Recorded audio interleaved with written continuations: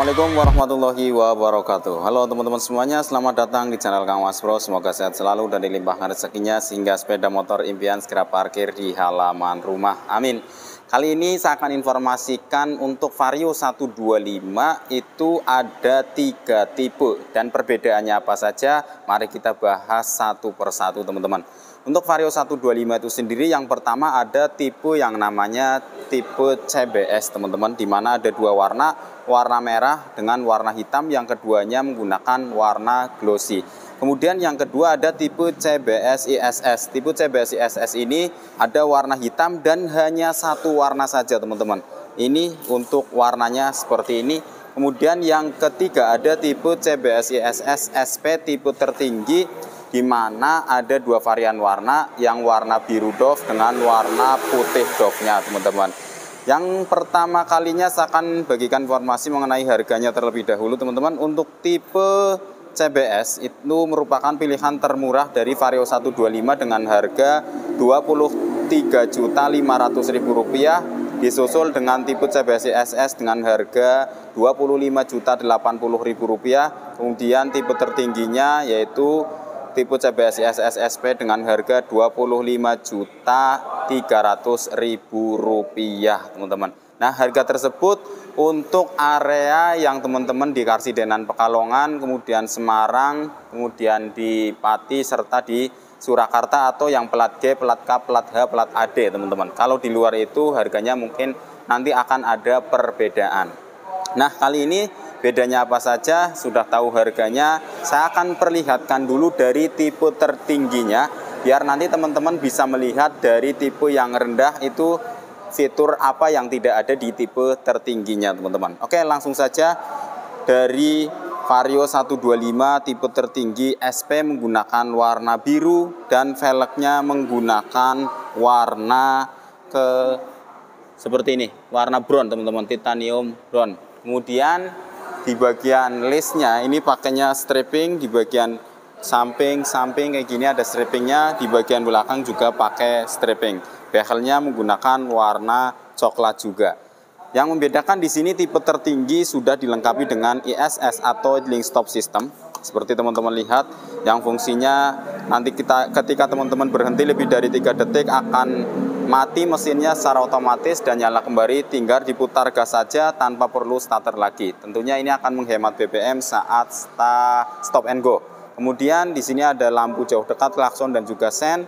Dan yang berbeda lagi untuk tipe tertinggi ini sudah dibekali dengan smart key system atau keyless yang mana di sini jauh lebih aman dibandingkan dengan kontak-kontak konvensional yang seperti biasa.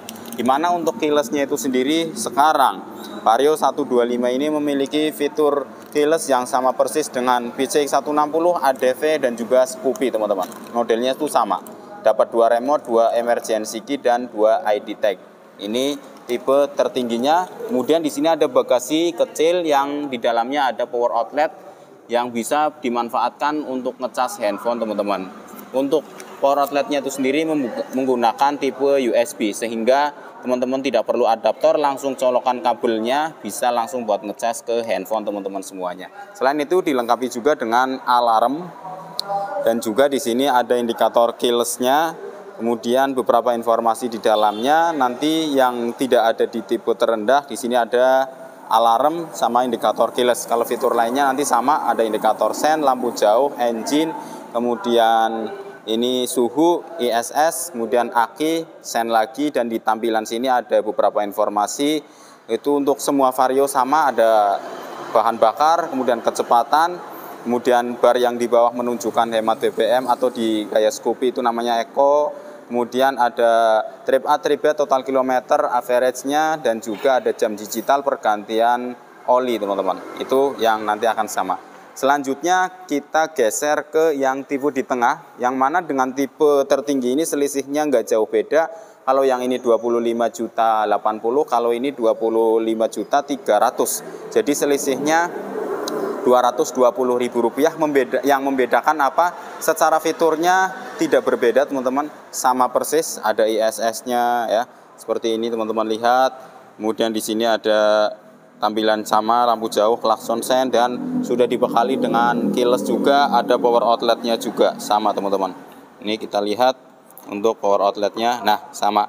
Sama-sama pakai remote keyless dan answer back. Jadi kalau fitur antara yang warna hitam tipe CBC SS dengan yang warna blue itu sama. Bedanya di model strippingnya untuk yang ESS SP Blue strippingnya seperti ini.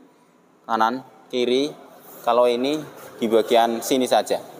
Nah, ini strippingnya sedikit sekali. Kemudian di bagian belakang justru malah yang tipe ini menggunakan tulisan varionya itu timbul warnanya keemasan. Seperti ini. Bahkan kalau di vario yang tipe tertingginya yang harganya lebih mahal 220.000, dia pakainya stripping bertuliskan vario seperti teman-teman lihat.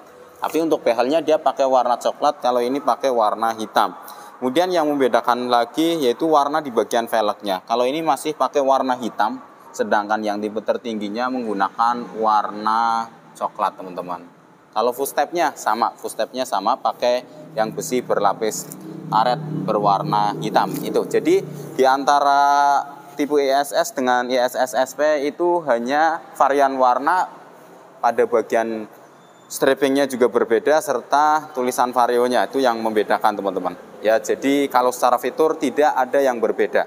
Tetapi kita geser ke tipe yang paling rendah yaitu tipe Vario 125 CBS di mana di sini untuk fitur-fiturnya itu sendiri kalau di bagian sini ada lampu jauh dekat, klakson, kemudian sen. Nah, di sini tidak ada ESS, teman-teman. Tidak ada idling stop system dan kuncinya ini kontak biasa. Nah, kontak biasa tidak ada alarm dan juga tidak ada answer back Apakah yang tipe CBS ini dilengkapi dengan power charger atau power outlet? Kita lihat di sini bagasinya modelnya sama dan dilengkapi juga dengan power outlet atau power charger, teman-teman. Nah, ini yang membedakan ya. Jadi, secara fitur itu yang tidak ada di tipe ini itu dari ESS-nya nggak ada, alarmnya nggak ada, answer back-nya nggak ada, kontaknya masih kontak biasa. Kemudian warna velgnya juga masih menggunakan warna hitam bagian depan dan juga di bagian belakang untuk list strippingnya modelnya seperti ini teman-teman nah ini kalau ini modelnya berbeda ya dengan yang tipe tertinggi tapi sama tulisannya vario. Hanya model listnya yang berbeda kan tuh. Nah seperti itu. Sehingga di tampilan panel meter pun karena ini belum ada alarm belum ada answer back nggak ada indikator alarm nggak ada indikator keylessnya juga itu yang ada di tipe terendahnya teman-teman. Selisihnya berarti kalau ini 23 juta 500, kalau ini 25 juta sudah 23 ke angka 25 itu 2 jutaan ya. Jadi nggak sampai 2 juta sih, 2 juta kurang teman-teman untuk selisihnya. Jadi untuk yang sudah tipe keyless nggak sampai 2 jutaan sudah dapat yang versi keyless. Sedangkan kalau kita pakai eh, pasang keyless sendiri yang sebelumnya belum keyless itu bisa hampir 2 jutaan sih teman-teman. Itu pun remote-nya masih dapat satu remote. Oke, selanjutnya kita bahas masalah mesin dari Vario 125 itu sendiri. Untuk mesinnya semuanya masih menggunakan basis mesin yang sama yaitu 125 cc SOHC berpendingin cairan atau radiator teman-teman. Nah, jadi pakainya radiator ada di bagian sini teman-teman. Ini untuk radiatornya, untuk cadangan radiatornya ada di sini. Dengan cc 125 tapi masih tetap dia itu memiliki tenaga yang sudah tergolong lebih dari cukup teman-teman dibandingkan dengan Honda Beat Scoopy. Ini sudah lebih jauh untuk tenaganya. Jadi kalau misalkan buat naik turun gunung salap-salip di Pantura atau mau nyalip itu nggak kagok ya. Karena masih mampu berakselerasi dengan baik teman-teman. Kemudian dari segi hematnya, Vario 125 itu sendiri dapat menempuh maksimalnya itu bisa 1 liternya 51 km teman-teman.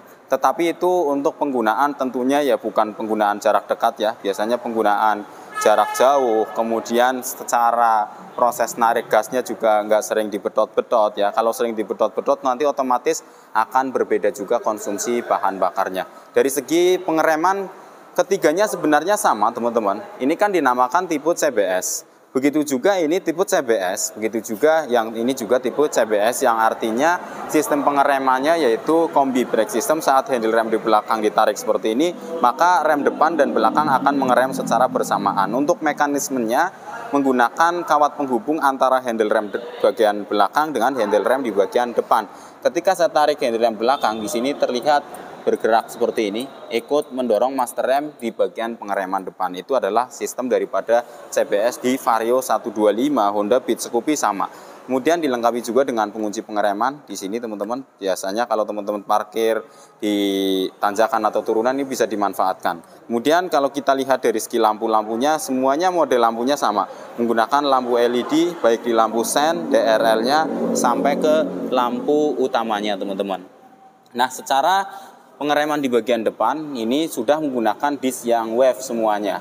Disknya seperti teman-teman lihat karena yang model ini yang model dulu diterapkan di Vario 150. Kemudian pakai Tokicho untuk di bagian kalipernya, pistonnya tunggal, suspensinya teleskopik berwarna hitam dan untuk warna velg ini yang berbeda sendiri di tipe yang tertinggi sih teman-teman. Ya kalau ngeripen pelek ya kalau saya kemarin ngeripen dua velg itu 200 ribu satu velg itu 100 ribu sama Kang Reza itu kemarin teman-teman.